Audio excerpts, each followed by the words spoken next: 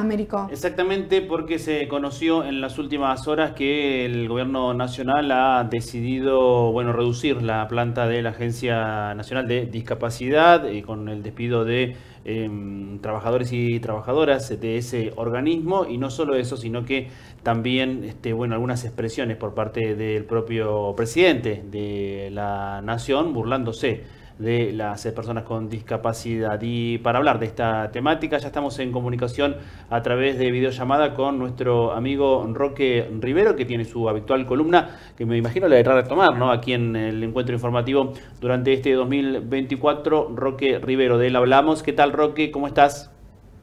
¿Cómo andan, compañeros? ¿Cómo están ustedes? ¿Cómo está Américo, Maricruz? ¿Cómo están? Hola, Roque. Buenas noches. Muy bien, muy bien, Roque. Aquí un poco este, preocupados por estas noticias que se conocen respecto de las eh, políticas vinculadas con la discapacidad desde el gobierno eh, nacional y no solo con las políticas, eh, sino también con que es central, ¿no? Y es lo, que más importa, sino eh, con algunas expresiones que se, que parecía que bueno ya se habían dejado de lado y que regresan y no solo regresan em, en, el común de, la gente, sino que hasta del propio presidente de la nación. Contanos vos qué nos podés decir. La, la verdad que lo que está dejando el señor presidente de la nación está dejando muchísimo que desear a nivel discapacidad, a nivel todo, a nivel país, ¿no? Pero a nivel discapacidad, que nos toca ahora hablar de esto, la verdad que está dejando mucho que desear. El otro día tuiteó como burlándose de una persona down, ¿no es cierto? Le dio un, retweet a algo que comentaron y él le dio un retweet, también burlándose de esa situación. Eh, lo que es la agencia de discapacidad, eh, despidieron un montón de personas, despidieron a muchísimo. El director de la de la Agencia de Discapacidad, eh, Fernando Galarraba, presentó su renuncia, le pidieron que presente su renuncia, que la ponga a disponibilidad y se la aceptaron en el segundo. Ahora el nuevo director es el doctor Diego Españolo, si no me equivoco el apellido, es el nuevo director, eh, y también viene de la misma de la misma del, mismo lugar, ¿no? Que no, no quiero ser agresivo, no, no, no, no quiero llevar a la agresividad, ¿no? Porque no quiero ser agresivo, pero la verdad que mm, dejó mucho que desear. Tengo compañeros que también trabajaban dentro de eh, lo que era el Ministerio de Desarrollo Social de Nación, también se les dio de baja, quedaron cesantes sin goce de sueldo, no saben si lo van a volver a reubicar, personas con discapacidad, no estoy hablando.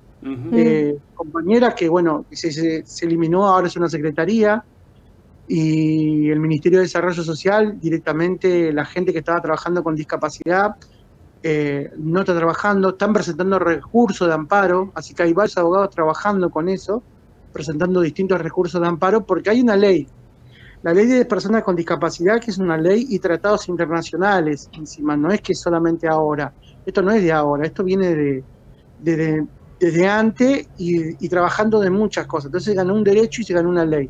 Y las leyes no es que son nacionales solamente, son nacionales e internacionales. Eh, la FAICA también dio a, entender también ciertas cosas. Eh, la Agencia de Personas con Síndrome de Down también dio a entender un montón de cosas, también lo que está pasando. Pidiendo eh, unas disculpas públicas justamente también ante esto que mencionabas recién de, de, los tweets. Sí, la verdad que no, no escuché una disculpa pública, no la escuché.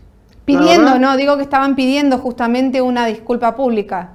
Sí, la agencia de personas con síndrome de Down del país eh, estaba pidiendo. Em, yo creo que es un contexto que no, no, no está para eso, no, no, no está para eso.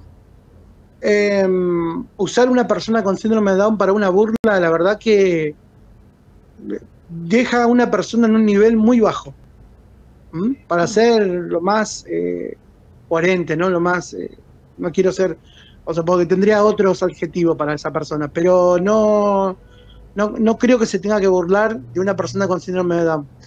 Eh, yo creo que creo que tiene más capacidades para gobernar un país, creo, una persona con síndrome de Down. Pero bueno, eh, ese es mi criterio, mi criterio. Pero la verdad que está dejando mucho que desear a nivel nacional y a nivel, bueno, también provincial, ¿no?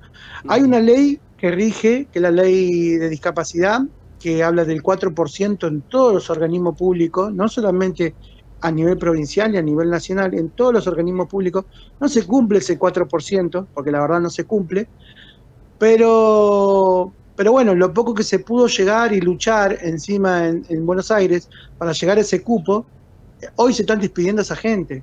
Eh, tengo compañeras que, que, están siendo despedidas sin, sin ningún previo aviso, llegan hasta ahí, dicen no podés pasar más le pasó a una chica llamada Melina, llegó hasta ahí, hasta el lugar de trabajo y no puedes pasar. Directamente le dijo, no puedes pasar. Tienen una tarjeta para presentar ellos, para poder pasar, y no puedes pasar, le dijeron. la policía la detuvo ahí y no la dejó entrar, directamente. Eh, la angustia que le causó, ella viene ya años trabajando dentro de lo que es el, área del Ministerio de, del Ministerio de allá de Buenos Aires, Desarrollo Social años trabajando. Pero bueno, ahí quedó. Gente que estaba trabajando dentro del Senado, también personas con discapacidad, en el área de museos también, quedaron cesantes, sin goce de sueldo encima, porque dicen que lo van a reubicar y no se sabe en dónde lo van a reubicar.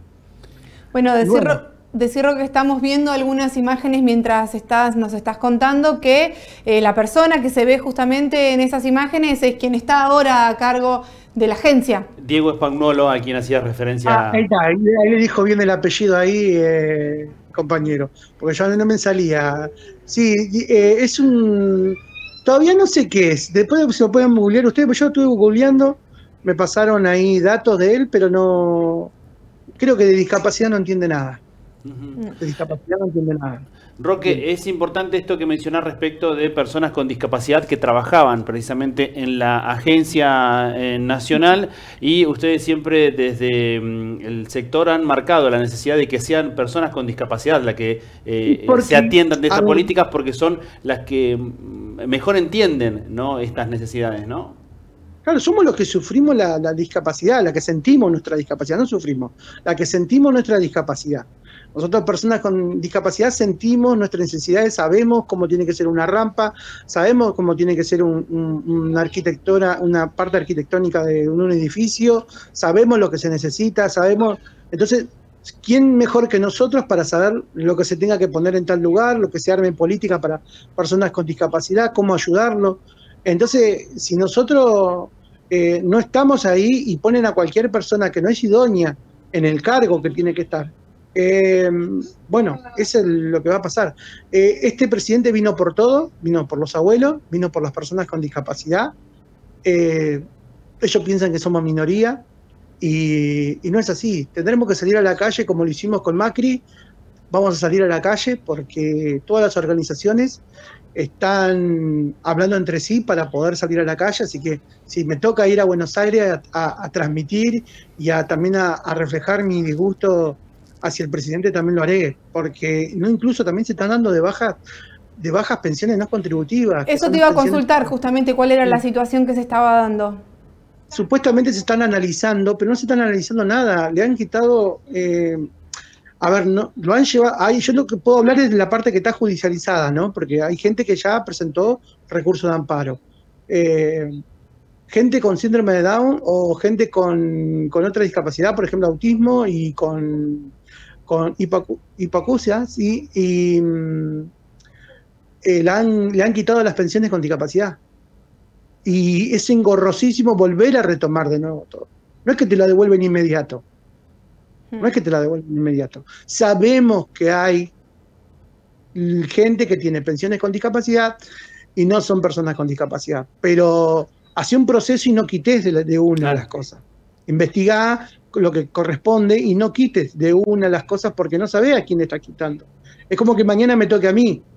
Eh, mañana me toca a mí y imagínate que yo también soy una persona con discapacidad y tengo mi discapacidad adquirida.